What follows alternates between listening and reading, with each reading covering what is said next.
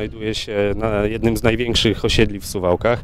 E, Tak jak widzimy, tutaj otaczają nas, otaczają nas duże bloki. Mieszka tutaj bardzo dużo, dużo ludzi, bardzo dużo młodych ludzi, bardzo dużo e, dorosłych. E, Boisko znajduje się przy jednej z największych szkół w Suwałkach, do której uczęszcza blisko 900 uczniów. I montaż, montaż tego oświetlenia pozwoliłby na to, że, że, że to boisko mogłoby funkcjonować przez cały rok i przy wydłu- wydłużonym y, wymiarze czasu tak naprawdę. To boisko charakteryzuje się też tym, że jest e, odśnieżane dzięki staraniom szkoły. Przez całą zimę tak naprawdę funkcjonuje. Zimą, kiedy mniej, mniej jakby korzystają tutaj uczniowie z tego boiska ze względu na niskie temperatury, korzysta nawet pierwszy zespół Wigier, bo jest to największe boisko w Suwałkach.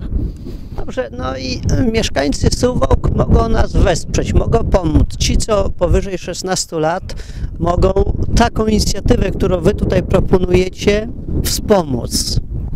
Dokładnie, dokładnie, na to liczymy. Ja e, będąc tutaj często na tym boisku widzę, że popołudniami korzysta z niego nawet 100-150 osób jednocześnie tak naprawdę, więc e, wierzę, że te osoby, te osoby zagłosują, e, wesprą ten projekt. Dodatkowo tutaj bierzemy pod uwagę to, że piłką nożną, uprawianiem tej dyscypliny sportu w naszym mieście jest zainteresowanych bardzo dużo osób.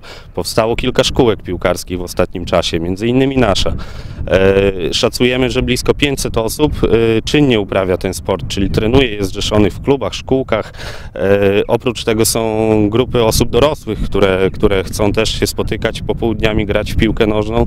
Tutaj jest świetne miejsce do tego, brakuje tylko, tak jak powiedziałem, kilku elementów. Brakuje oświetlenia, brakuje e, poprawy bezpieczeństwa na tym boisku, brakuje, chcielibyśmy je wyposażyć również w dodatkowe bramki przenośne i ewentualnie małe przenośne trybuny, które pozwoliłyby na rozgrywanie małych turniejów dla dzieci również na tym osiedlu.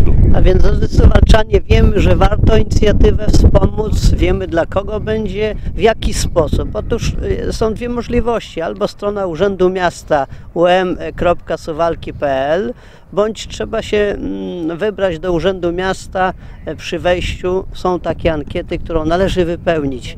I która pozycja, żeby mieszkańcy wiedzieli, na co zagłosować. Tak, to jest pozycja numer 28.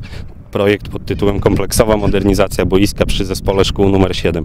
Myślę, że dodatkową szansą na oddanie tego głosu będzie najbliższy mecz suwalskich Wigier. E, W niedzielę Wigry spotykają się z Motorem Lublin. Zapraszam przy okazji wszystkich kibiców.